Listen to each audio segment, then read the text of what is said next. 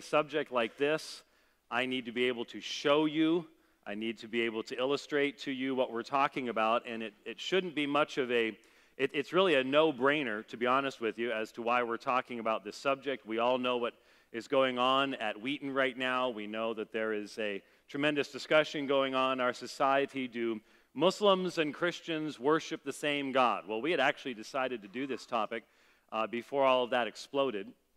As most of you know, uh, starting in about 2006, I began dealing much more extensively with the subject of Islam with my first major debate against Shabir Ali. Some of you keep asking me, when is your book going to be done with Shabir Ali? We know we're very late. We just had a discussion about it this past weekend, and uh, we have uh, recommitted ourselves. And in some ways, I'm sort of glad we've been delayed because now we can add in uh, some of the discussion that needs to be had concerning uh, what is Islam? Is there such thing as a one true kind of Islam, or is, uh, is there a, a number of expressions of Islam? We'll be able to be addressing some of those things. But we know that right now you're probably being asked, if you're in ministry, if you're a Christian, well, what do you think? Do you, do you think Christians and Muslims worship the same God? And there are many people within what's called the broader Christian community that are saying, well, well, of course. There's a book that came out a number of years ago from a Ivy League school scholar who uh, argues that, well, well obviously, uh, we believe in the God of Abraham, Isaac, and Jacob, and and the Muslims believe in the God who revealed himself to Abraham, not so much the Isaac and Jacob part, but uh, certainly to Abraham and to, uh, to Ishmael. Uh, and so historically, there's this, this connection. And that is the direct claim uh, of the Quran itself. In Surah 29, I will be giving you both the, uh, the, the, surahs of the Quran. And I, let me just ask very quickly how many of you here have read all of the Quran? There was something funny about that? All right. How many of you realize that unless you read it in Arabic, from the Arabic perspective, you've, from the Muslim perspective, you did not read the Quran either? Yeah, okay, all right. Uh, very small percentage. And unfortunately, if I were to ask a uh, Muslim group of this size the same question, you'd have about the same percentage of people who have actually read the Christian scriptures. Just the Christian scriptures, not even the whole Bible. And so our two communities normally are, are passing by as ships in the night. Uh, even when we talk, very often we're using different vocabularies. Very rarely do we have meaningful communication with one another. But you and I are addressed in the text of the Quran. And given that we're talking about a billion and a half people in the world, it would seem to me that it might be wise if we know what the Quran says to us. Now, the Quran's a small book. It's only 56% the length of the New Testament, only 14% the length of the Bible. So it doesn't take all that long to get through. However, just a, a, a, warning as we go past this if you do decide to write, to, to, to write the Quran, don't bother, it's already been written. Uh, if you decide to read the Quran, do not bother attempting to understand it by reading from, from, from the beginning, Surat al Fatiha, the seven verse opening prayer, through Surat al Baqarah, the, lar- the longest uh, surah with hundreds of verses in it, all the way through to Surah 114 you won't be able to make heads or tails out of it because it's not arranged chronologically. You'll be jumping back and forth between different periods in the author's life. If you're going to actually read it, you need to get hold of a, a, a well, the, there's a new publication just out called the Study Quran. It's actually very good. Uh, it's a, it's a, I'll be using that translation this morning, in fact. Um, it gives you some introductions. And I wrote a book called What Every Christian Needs to Know About the Quran. I included somewhere around page 52 or so a chart of the chapters of the Quran and the order in which they were probably written. So if you read it in that way, at least you're going chronologically. You can follow themes, development of themes, and things like that. Now, the Muslims not overly concerned about doing that because, from the Orthodox Sunni perspective, the Quran reflects nothing of Muhammad's understanding in the first place. You need to understand their understanding of, of revelation is that the Quran was sent down. The Quran is uncreated, it's as eternal as Allah is. And it was sent down in one night, Laylat al Qadr, the night of power during the month of Ramadan, to Jibril, the angel. And then over 22 years, he parceled it out to Muhammad, who then memorized it and uh, narrated it to his people, who then memorized it, and that's how it came to be. And so Muhammad has nothing to do with the Quran from their perspective. You can't ask about what he understood about the Trinity. You can't ask anything like that because it's irrelevant. Nothing in the Quran represents Muhammad's understanding in the first place. Now, obviously, as, we can, as you can understand, that fundamentally changes the nature of the study of the Quran on the part of Muslims. They're not overly concerned when you and I preach from Corinthians. We want to know about Paul's background. We want to know about the Corinthians' background. We want to know what was going on in the Roman world that, in, that, in that, that time period. None of that's relevant to the exegesis of the Quran because it's eternally existed in the heavenly tablet. So uh, it, it, changes how it's understood and it changes how Muslims deal with the text of the Quran itself. So uh, the Quran is organized by the longest surah is number two, then it gets a little bit shorter, a little bit shorter, a little bit shorter. That's how it's put together. Um, no one knows why it was done that way. That's just simply the way that it is. And that's why after 9 11, when all the CNN reporters were running around into Barnes and Noble buying Qurans to try to find something to put into their reports, they were left standing there holding a Quran with no idea what to do with it because it did not make any sense to them whatsoever. Can't get into much more of that right now, but it is a fascinating background. But in Surah 29, the Surah of the spider, we read these words and dispute not with the Ahl al Kitab, the people of the book. Now, the people of the book can be Jews, the people of the book can be Christians, and sometimes it's both Jews and Christians, and sometimes we can't really tell. We are directly addressed as the Al Injil twice in the Quran, which means the people of the gospel. That's pretty specific, but very often the Al Kitab, the people of the book, are Christians, and that is defined by the context when we read it. Dispute not with the people of the book, save in the most virtuous manner, unless it be those of them who have done wrong, and say, we believe in that which was sent down unto us and was sent down unto you. Our God and your God are one, and unto him are we submitters. Thus have we sent down unto thee the book, which would be the Quran. So those unto whom we have given the book believe in it. Among them are some who believe in it, and none reject our signs save the disbelievers. Now, again, it's, it's difficult at times to follow the context. It, it seems to me that the last verse is saying that if you reject the Quran, then you are a kafir, you're an unbeliever, and that is how most Muslims would view us as unbelievers.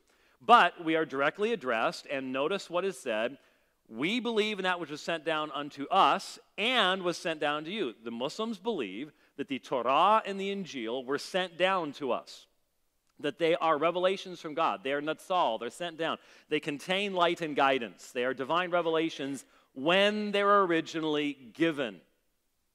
Now, whether we still possess those things, that's where the differences arise. Um, and most Muslims today would say we no longer possess those things, that there is now a mixture, a corruption that has taken place. But here's the key phrase Our God and your God are one, and unto him are we submitters. So there is, there is the Muslim answer to the question do we worship the same God? But that would be somewhat simplistic to just stop right there because there are many Muslims that recognize, and that's one of the things I like about the New Study Quran, it recognizes this as well. There are Muslims who recognize the definitional nature of the Trinity in Christian thought. And so a serious Muslim will say, well, we are making reference to the same historical God. But the Quran itself says, as we will see, that we have gone into excess. We have gone beyond what Allah has spoken.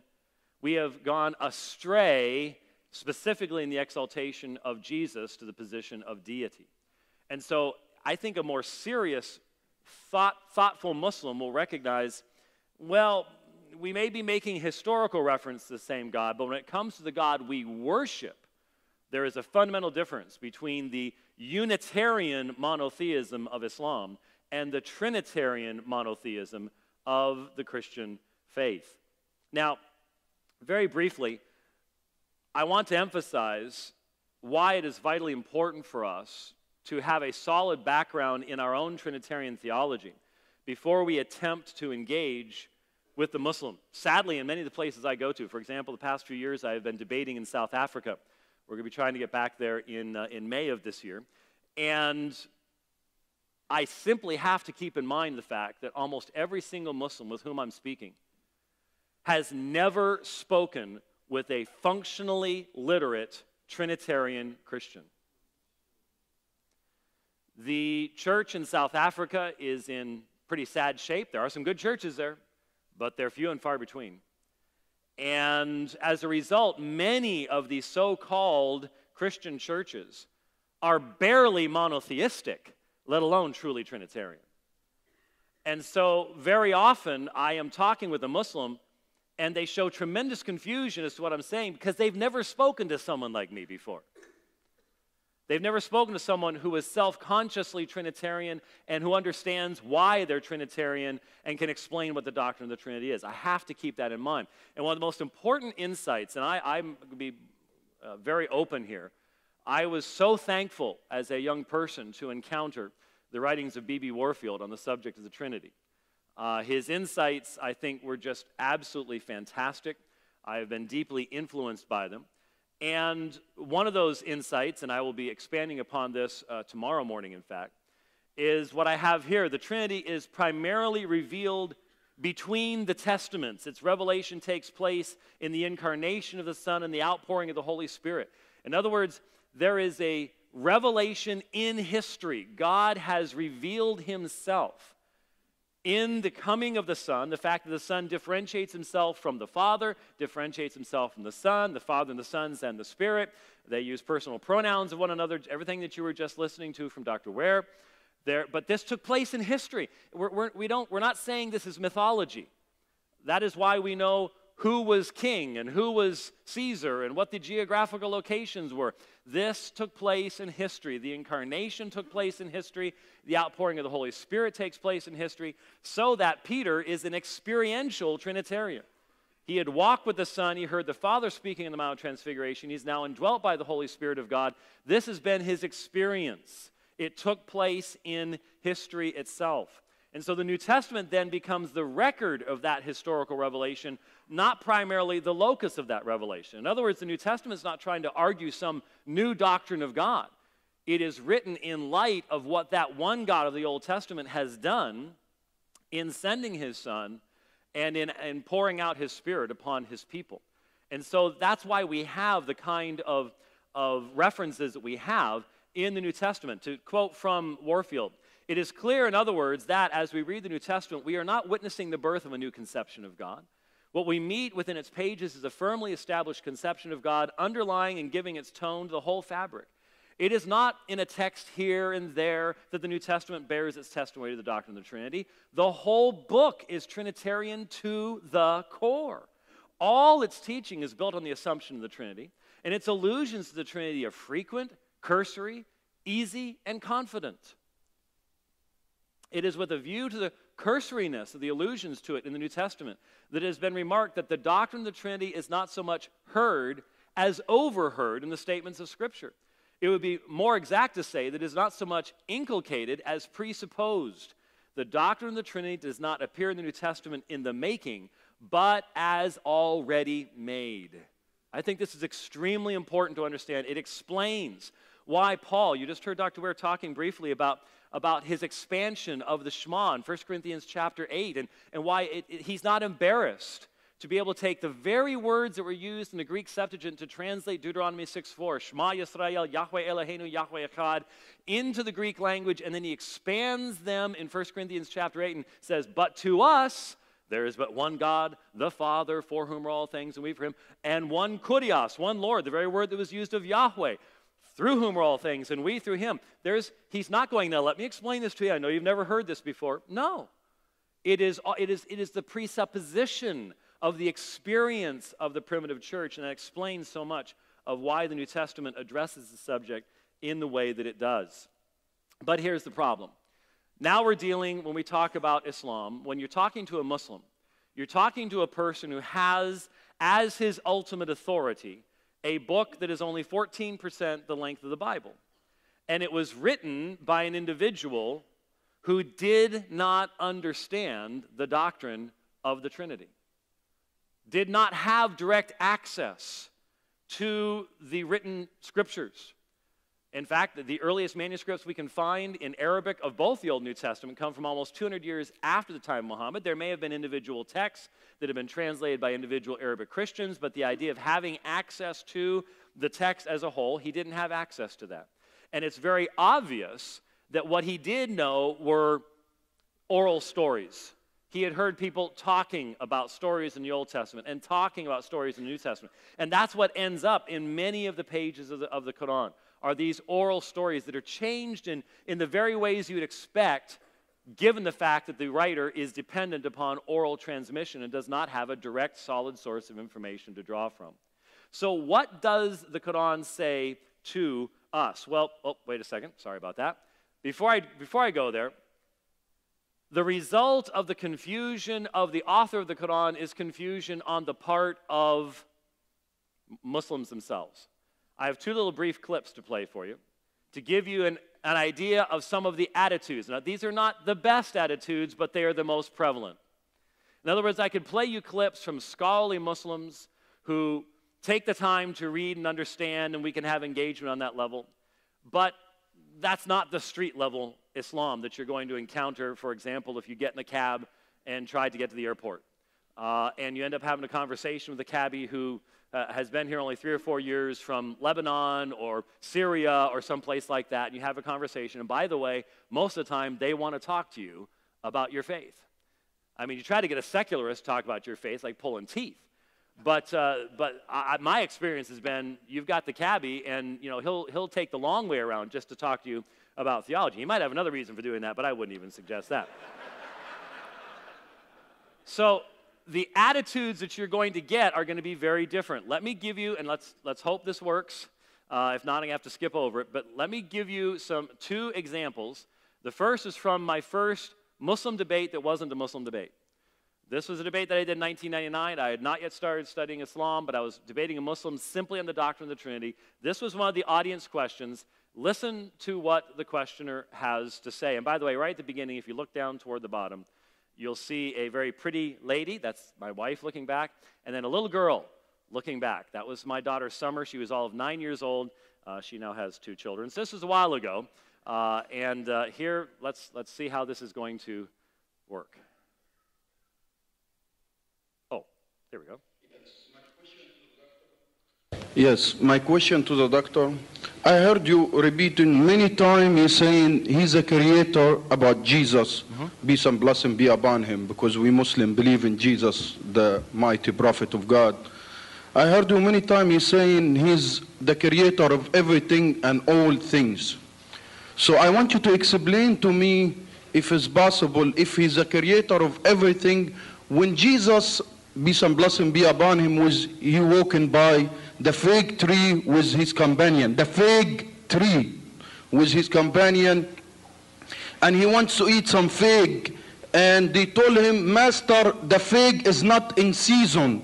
So if he was God, how he don't know if he create the tree, how he know, how he does, he doesn't know if what's in season or what not in season, if he create everything. Okay. okay. And if the fig was not in season and he's God. First of all, we don't accept God to be hungry. He wants to eat. But you, Christian, you said God choose to do so. So that's your faith. But I'm saying, even if he was God and fig is not in season, why he couldn't order the tree to bring fig? Okay, Isn't that you. God the one create everything? let me just stop it right there. Okay. I love watching audiences when I play this because a lot of you are going, well, the Jehovah's Witnesses who came to my door last week were better than that. I mean, uh, they've got, you know, they've got pretty strong arguments. First of all, he is repeating a Quranic argument. This is an argument from the, from the Quran. We'll see it later on. But you've never heard someone use the fig tree argument before, have you? Jesus can't be God because he didn't know when figs were in season. And if he was God, he could have just told the tree, bring forth figs, and there will be figs, figs, and you can eat the figs, right? And you go, that's silly. But please understand something. That's not an answer. That's not an answer. That doesn't help him. And unfortunately, sometimes these objections are so outside of our range of experience that we're just left going, oh, come on, man, really? And they're like, yeah. And you've got to realize he probably, he doesn't look like he comes from around here. He wasn't born in Iowa. So, the, the country that he came from, he has probably never met a Christian who could even begin to give him a meaningful understanding of what the fig tree was about, how the fig tree represented Israel, how this was at the beginning of that final week, and, and the, the, the tree had leaves on it but didn't have fruit, just like the people of Israel looked like they had fruit, but they didn't really have fruit. Um, he hasn't heard that before.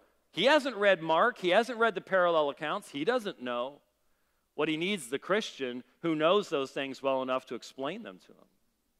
But this is a Quranic argument. The Quran will make this argument, and that's the level of it. Let's take a look at another example. And this is a debate in 2008 with Sheikh Jalal Abu Alrub. He's a little bit hard to understand. He's Palestinian, but what you can get fairly clearly is he has a bit of a chip on his shoulder. Let's listen to what he had to say. The last hour, he says only the Father. You remember my opponent? He said that Christians don't consider Jesus the Father. Well, then he doesn't know about the last hour because he's not divine. Oh, but he is in complete harmony with the Father. Really? One of them died, and the Holy Ghost and God had no idea what's going on. One of them died. No, the one who died is an addition, not a subtraction. Come on, people. Offer the creed the same way Abraham gave it to his people. Did he ever say anything like this? We're angry here. I was insulted twice here. The terrible stuff my opponent said about Muhammad sallallahu alaihi wasallam, taking stuff out of context and put, you know, using fabricated words. And secondly, calling a son to God is the greatest offense, offense to us Muslims. So don't think that you can come here and act you're angry, because we are angry, because Allah doesn't have a son. He told you so. Jesus never said, I am Lord, I'm divine, I'm the, I'm the God, the creator, worship me as you worship God. The Holy Ghost is God. Adam didn't say it, Abraham didn't say it, Noah didn't say it. They must have known another God than you one, the one you know. I ask Allah subhanahu wa ta'ala to open your hearts and minds. Because Jesus said it in so many ways that He's not God. You just want Well, to stick go. it to Him no matter what. Now, he said he was angry because he had been insulted twice today. Uh, the terrible things his opponent said about Muhammad. He had done a debate earlier in the day with David Wood on whether Muhammad was a prophet. But then notice what the second reason, why was he so angry? Because I was ascribing a son to Allah. And the Quran says that is one of the most terrible things you can ever do is ascribe a son to Allah. Now, what the author of the Quran understood that to mean is what we need to take a look at. But from his perspective, that why, that's why he was most angry, is that we were ascribing a son to Allah, and that is to violate the central affirmation of Islamic theology, which is known as Tawheed. Tawheed means the oneness of Allah. But what that has come to, be under, to, to mean is the Unitarian oneness of Allah. And so the one sin, the worst sin that can be committed, is to violate that which is the sin of shirk. Shirk is the association of anyone or anything with Allah, and the vast majority of Muslims in the world believe that you and I are mushrik. We're mushrikun. We commit shirk because of our worship of Jesus. Now, there are Muslims that recognize that we're monotheists, and they will not use that terminology. But the vast majority of Muslims in the world do think that when the Quran's talking about those who associate with Allah, that our worship of Jesus falls into that. And I think you can make a fairly strong case for that from the text of the Quran itself. So let's take a look at the Quranic witness. The Quran never uses the technical term in popular use by Arabic speaking Christians in the 7th century for the Trinity. It's just not there. Instead, the Quran refers to thalath, the, the ordinal number one, two, three. Word three. When, when seeking clearly to speak of the Trinity, and in those contexts, that's going to become very important for us. Let's look at some of the texts.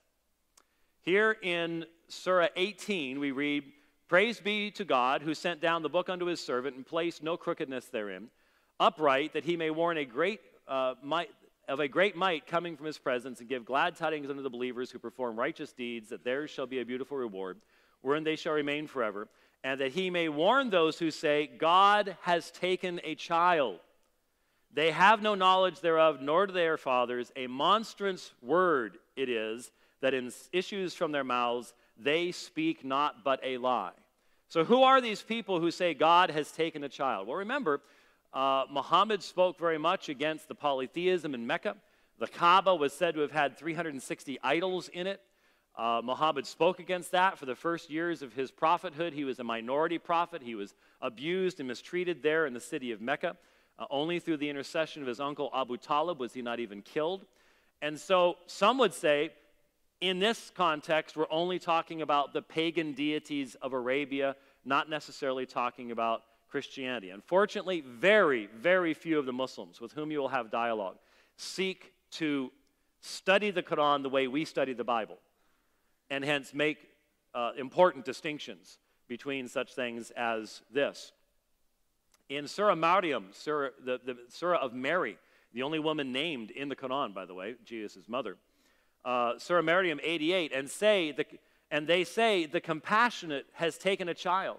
You have indeed asserted a terrible thing. The heavens are well nigh rent thereby, and the earth split asunder, and the mountains made to fall down in ruins, that they should claim for the compassionate a child. It is not fitting for the compassionate to take a child. There is none in the heavens and on the earth, but that it comes under the compassionate as a servant. And so here, this is really the background of what Sheikh Jalal Abu Alrub was saying. Is it's a terrible thing. It's that the mountains fall down when you ascribe a son unto God. There is the very language of the Quran itself. In Surah 39, uh, verses ayat, ayat 3 and 4, the verses are called ayahs, ayat in, uh, in the Quran. Behold, unto God belongs the pure religion, and those who take protectors apart from him say, We do not worship them, save to bring us nigh in nearness unto God. Truly, God will judge between them regarding that wherein they differ. Truly, God does not guide one who is a disbelieving liar. Had God wanted to take a child, he would have chosen whatsoever he willed from that which he created. Glory be to him. He is the one, the paramount. So if God wanted to have a child, he could have. He could have, could have derived one from the created order, but the Quran is saying he never did anything like that. And even those people who say, well, you know, we're just worshiping these idols to bring us closer to God, this uh, particular text denies that that is a possibility at all. In Surah 6101, they make the jinn, I'm sorry, 6100, they make the jinn partners unto God, jinn as in genie. You, the, the, the, Muslims believe that there are these, things, these creatures called jinn. Um, they are, smart, they are, they are uh, faster than us, they're stronger than us, but they're not as smart as we are. Which sounds to me like a teenager with a Camaro. uh,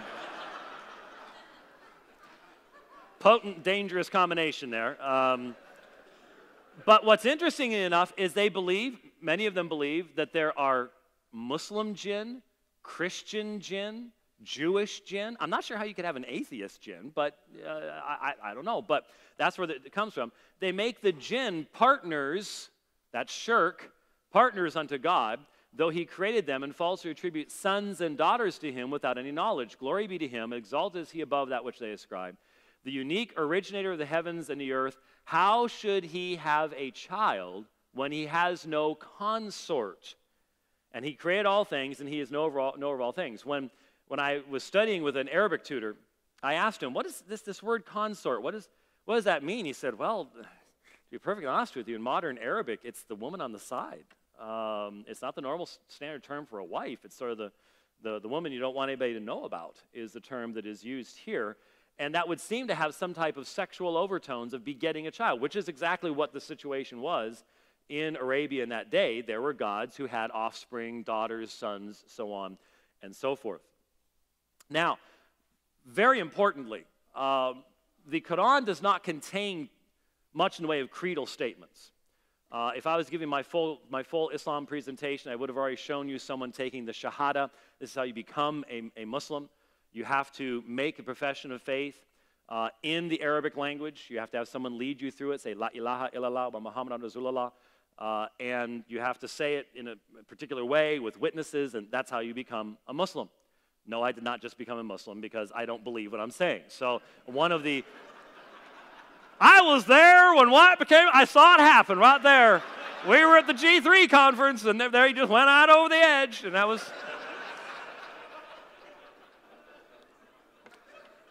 And tomorrow there'll be a blog article somewhere saying exactly that, I can assure you.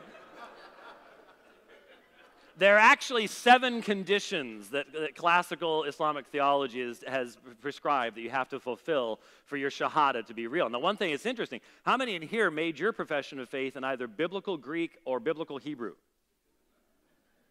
I'm looking for the one uh, seminarian. There's always a seminarian. You know, you know the kind? You know, I did. Ha ha ha. He did not.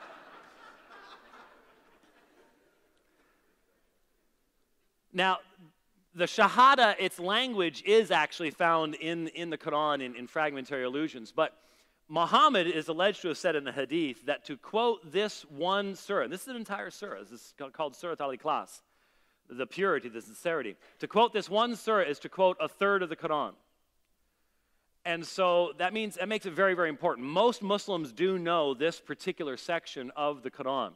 And so we look at it, notice it says, say he is he, God is one, God the eternal sufficient unto himself. He begets not, nor was he begotten, and none is like unto him. That's the entire, the entire section.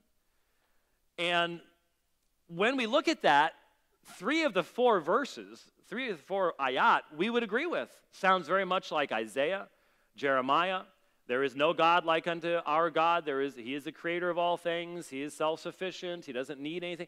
Everything you see in the trial of false gods, from Isaiah 40 through 48, right there uh, in, in illusion, except for the third ayah. Lem yelid walem yulid. He begetteth not, nor is he begotten. Now, again, street level Islam sees you and I right there. That's about Christianity. I took one of my seminary classes uh, to the, the mosque in Tempe, Arizona, and we watched the prayers. We talked with the imam afterwards. And I asked him, Do you think that the third ayah of Surat al Ikhlas, Lam Yalid Wa Lam Yulid, is specifically about Christianity and Christian belief? He said, Oh, there's no question about it. No question about it.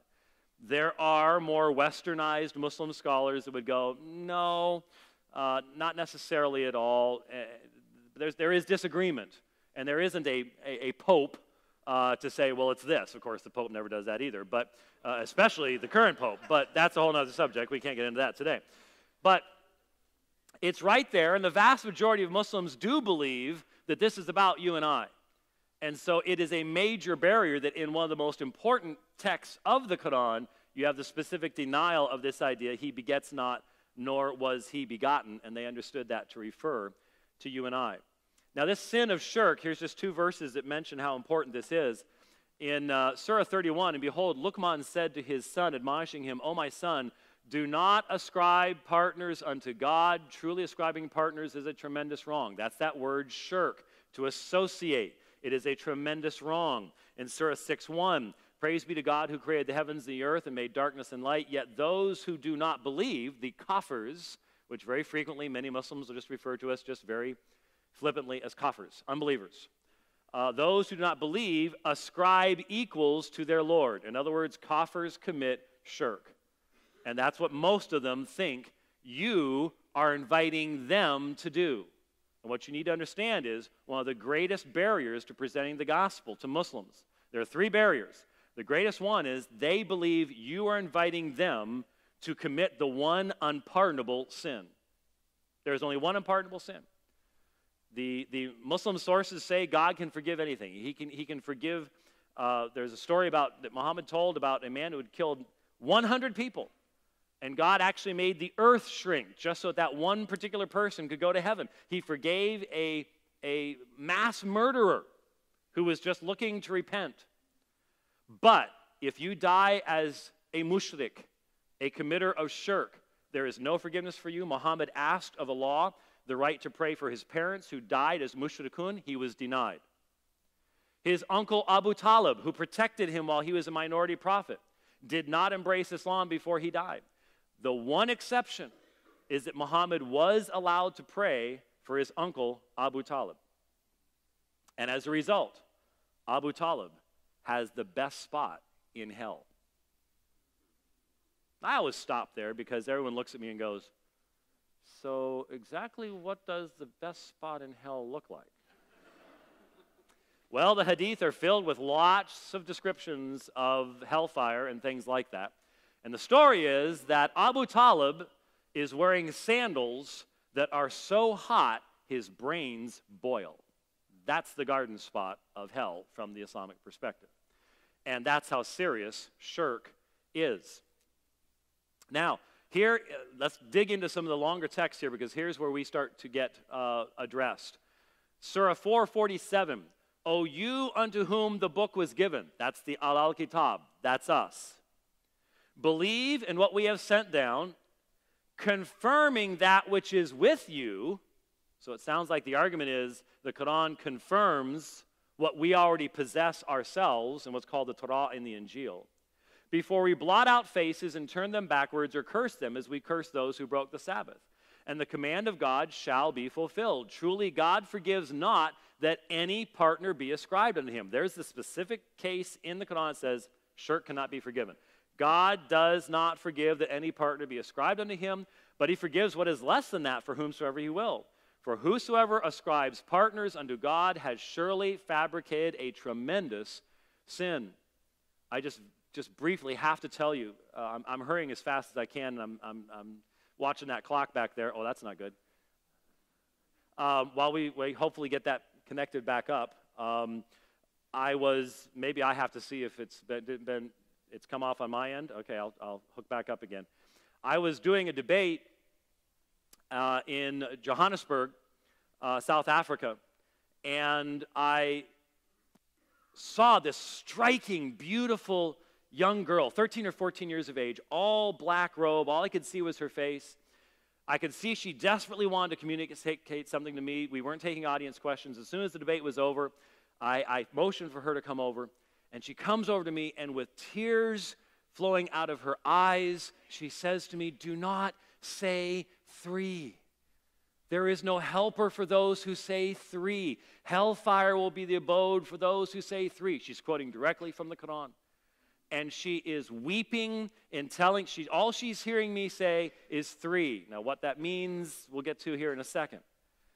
But I remember the, the, the tremendous fervor that was hers. And I remember being her age and being fervent in my faith. And it just made my heart break that I, as clearly as I tried to speak to her, she just could not hear because this, this told her what I believed. But this isn't accurate about what I believe. And that's where the problem, that's where the problem is. And yet it says, confirming that which is with you. As if what we possess that came down from God is actually uh, revealed scripture. Now, Surah 4 171. O people of the book, that's us again, Al Kitab, do not exaggerate in your religion nor utter anything concerning God save the truth. That term exaggerate, to, to aglu, it's a very difficult word to say. I, I, I normally just spit on myself when I try it, but it is a term that refers to going over the bounds, exaggeration, exceeding bounds. From their perspective, Jesus was a great prophet. But you've gone beyond what he claimed. You've gone beyond what he taught. You've gone into excess. You've been led astray. And in fact, what's scary is to remember something, folks. Every single day, a believing Muslim prays five times a day, and in each one of those prayers is what's called Surat al Fatiha, the opening surah of the Quran. And if you ever listen, if you've been, ever been in an Arabic country, you've heard at the very end of Surat al Fatiha this line, Vala Zalim. And they, they, they extend out the vowel in the term Zalim. What is Zalim? Those who are led astray. The last part of the, of, the, of the text is lead us not into the path of those who have earned your anger and those who have been led astray. And when they asked Muhammad what that meant in all the hadith sources, he said, Those who have earned God's anger are the Jews, and those who have been led astray are the Christians. So every single day, the Muslim is praying not to be you.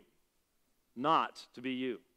That's what that prayer is about. Because we have gone into exaggeration, excess, going over the line. Verily, the Messiah, Jesus, son of Mary, was only a Rasul of Allah, a messenger of Allah. And his word, which he committed to Mary, they understand that to mean that God simply said, Be, and he was. They have a, whole, a lot of problem with the Holy Ghost being involved in the conception of, of Jesus. They do believe in the virgin birth, which he committed to Mary, and a spirit from him. So believe God and his messengers, and say not three. Now stop. Every single time that the Quran says, say not theleth, three, the very next phrase is always going to say the very same thing. What does it say? Refrain, it is better for you. God is only one God. Every time it says don't say three, the next assertion is there is only one God. Now, if I said to you, let's say you live in Chicago, and Chicago has two Major League Baseball teams, right? Uh, you got the White Sox, and you got the other guys that can never win the World Series. So, if I was talking to somebody about baseball, and I said, do not say two, there is only one baseball team in Chicago. Isn't it obvious that when I said do not say two, I was talking about two baseball teams? So if the Quran says say not three, there's only one God, then what is the author of the Quran thinking you and I are saying when we say three? Three gods. It's obvious. It's plain as the nose on your face. And I've had many a Muslim. I was debating Yusuf Ismail in the Juma Masjid in Durban, South Africa. It used to be the largest uh, mosque in the southern hemisphere, place for 3,200 prayer mats in that mosque. And he specifically said right there, he said, James, I know you claim to be a monotheist, but you're really a polytheist. And what's his authority for that? The Quran and the un- misunderstanding of the author of the Quran.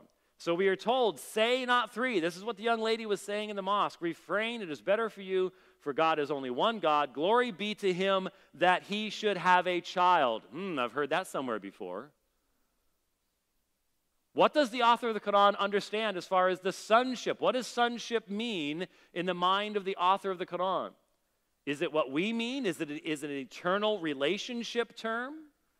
Or is it something that involves the, the need for a consort, a wife, and birth? That's the question. In Surah Al-Ma'idah, Surah 5, Surah 517, they indeed have disbelieved who say God is the Messiah, son of Mary. That's considered to be kafir, disbelief. Say, who would have any power over God if he desired to destroy the Messiah, son of Mary, and his mother, and those on earth altogether? Unto God belongs sovereignty of the heavens and the earth and whatsoever is between them. He creates whatsoever he will, and God is powerful over all things. Because God could destroy Jesus and Mary, then they can't be God. Now, catch that about Mary. Make a little mental note. What is the author of the Quran thinking we think about Mary? The point that they could be destroyed means they can't possibly be God. Same surah, Surah 5, next verse. And the Jews and the Christians say, We are the children of God and his beloved ones. Say, Why then does he punish you for your sins? Nay, but you are mortals of his creating. So, how is the author understanding even our claim to be the sons of God? Taking it in a literal sense, not understanding the concept of adoption through Christ, anything like that. Remember, you're talking about someone who never read a word of Paul and evidently didn't talk to anybody else who had very deeply either. Same surah, Surah 572. They certainly disbelieve those who say truly God is the Messiah, the Son of Mary. But the Messiah said, O children of Israel, worship God, my Lord and your Lord. Now, if you, if you want to try to find out where Jesus, Jesus said these things, don't bother looking in the concordance of your Bible. The Quran will quote Jesus a number of times, and it's, it always strikes me, I have to make mention of the fact that my Muslim friends will, will borrow Bart Ehrman to cast doubt on the Gospel of Mark, which is clearly written in the first century. And then they will accept as absolute gospel truth everything Jesus allegedly said in the Quran that comes 600 years after Jesus and does not have a modicum of historical connection to historical Jesus at all. They use different standards. It's a, it's a, it's a different scales situation. Surely whosoever ascribes partners unto God, there's shirk again, God has forbidden him the garden, and his refuge shall be the fire, and the wrongdoers shall have no helpers. They certainly disbelieve those who say, truly God is the third of three. Well, there's three again. And what's the next line? While there is no God save the one God. There's your three again. And now they're saying, we're saying God is the third of three. Who is this three? You never have Father, Son, and Holy Spirit in the Quran. Not once, especially because the Holy Spirit's the angel Jibril. Never is Father, Son, and Spirit found in the Quran together. There's only one place where three persons are brought together in this context, and we'll be closing up with that when we get to it. I'm hurrying as quickly as I can. If they refrain not from what they say, a painful punishment will befall those among them who disbelieved. Will they not turn to God in repentance and seek his forgiveness? And God is forgiving, merciful. Folks, be- to believe what we believe is considered to be a sinful act by the author of the Quran. It is rebellion. It is seems very clearly to be shirk. Will they not turn to God in repentance and seek his forgiveness? And God is for- forgiving and merciful. The Messiah, son of Mary, was not but a messenger. Messengers have passed away before him, and his mother was truthful. Both of them ate food. Ding, ding, ding, ding, ding. You getting the, getting the, getting the message? And guess who's included in this? Mary. Behold how we make the signs clear unto them, yet behold how they are perverted. It's perverted to believe whatever it is the author of the Quran thinks it is that we believe. Say, do you worship apart from God that which has no power to benefit or harm you when it is God who is the hearing, the knowing? Say, O people of the book, do not exaggerate, there it is again, in your religion beyond the truth, and follow not the caprices of a people who went astray. Who are them? Christians. And led many astray and strayed from the right way. This is the clear teaching of Surah 5. Now we get toward the end of Surah 5. Then God will say, O Jesus, son of Mary, remember my blessing upon thee and upon thy mother when I strengthened thee with the Holy Spirit, that thou mightest speak to people in the cradle and in maturity. And when I taught thee the book, wisdom, the Torah, and the gospel, and how thou wouldst create out of clay the shape of a bird by my leave, and thou wouldst breathe into it, and it would become a bird by my leave, and thou wouldst heal the blind and the leper by my leave, and thou wouldst bring forth the dead by my leave, and how I restrained the children of Israel from thee when thou didst bring them clear proofs, and those who disbelieved among them said, This is not but manifest sorcery. I don't have a lot of time here. I know I'm rushing, but did you catch any of that? Spoke from my cradle. That's the Arabic infancy gospel written 500 years after Christ. The author of the Quran doesn't realize that that's a later source. All he knows is it says something about Jesus, must be in the gospel. And what about creating birds? Anybody know where that comes from? Infancy Gospel of Thomas. Yeah, we're talking uh, third century. So the author of the Quran has no idea what the canon of the New Testament is, what is in it and what is not, and he's drawing from all these different and contradictory sources and ascribing all of this to Jesus. And so finally, we get to Surah 5 116. And when God said, O Jesus, son of Mary, didst thou say unto mankind, Take me and my mother as gods apart from God? He said, Glory be to thee. It is not for me to utter that to which I have no right. Had I said it, thou wouldst surely have known it. Thou knowest what is in myself, and I know not what is in thyself. Truly, it is thou who knowest best the things unseen. Here, folks, is the only place in the Quran where you have three. That's the only place. Only place. Do you see it? Didst thou say to mankind, Take me and my mother as gods apart from Allah? There's your Trinity Allah, Mary, and their baby boy Jesus. And we can understand where this came from. If you're a 15 year old from Mecca and you go on caravan up into Syria, you're going to go exploring and you're going to go looking and you look into a Christian church in, say, 580, 590. What are you going to find? Well, you're going to find lots of statuary, you're going to find art, you're going to have depictions of God. You're certainly going to see the crucifix all over the place. You might see a, you might see a dove, but that's not going to say anything to you. That's not going to communicate anything to you without a background and you're going to see a lot of what? A woman. And what's the woman going to be holding? A little baby. So you've got Allah, you got a woman, you got a little boy who ends up on a cross. Oh, so that's what Christians believe the Trinity is. There, there is a way to rescue the Quran here, but I've not found any Muslims want to go here. This could be a prophetic refutation of Mormonism.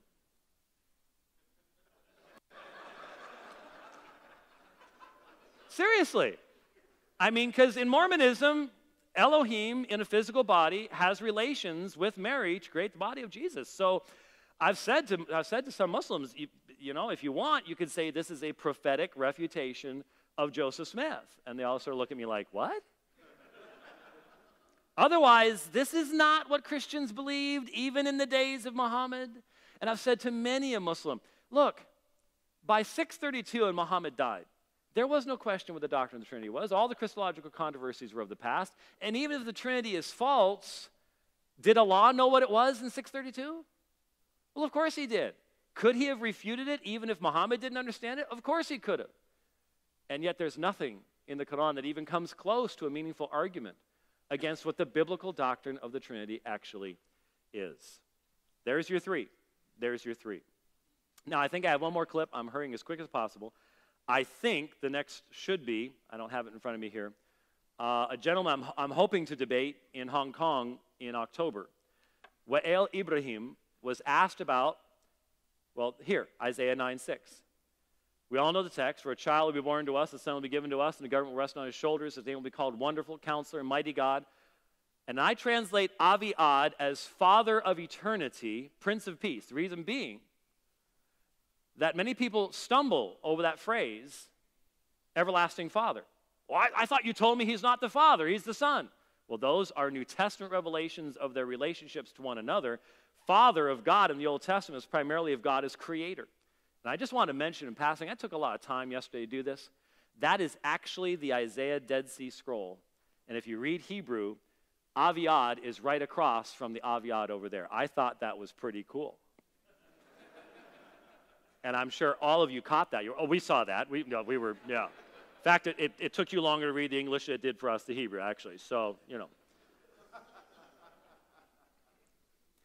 Let me give you an illustration of exactly how this works. Here is when Wael Ibrahim was asked last October in a debate on the Trinity in Hong Kong about Isaiah 9 6. Let's hope the connection works here.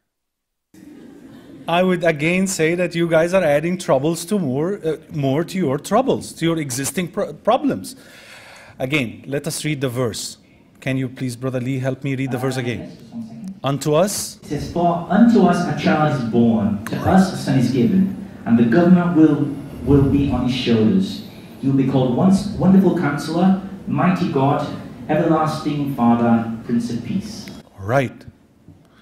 Where does the name of Jesus mention? Because the question started like this Jesus is mentioned many times in the Old Testament. Now, I asked that purposely.